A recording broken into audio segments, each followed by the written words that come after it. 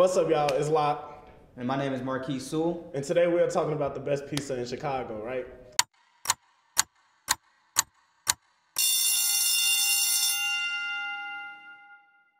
So to me, the best pizza in Chicago is Home Run Inn.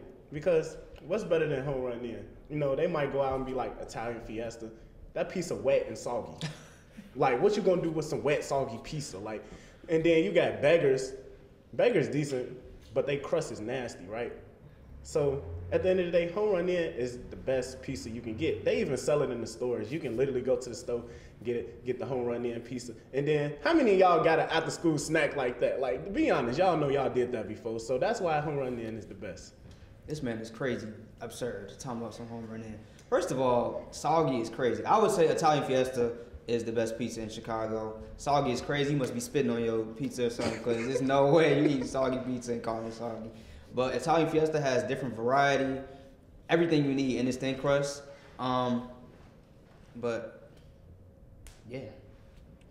Man, let me know what y'all think. If y'all think Italian Fiesta is the best, or y'all think Home Run Inn is the best. See, to me, Waldo Cooney's is better than Italian Fiesta. So, you know, let, let me know in the comments what y'all think.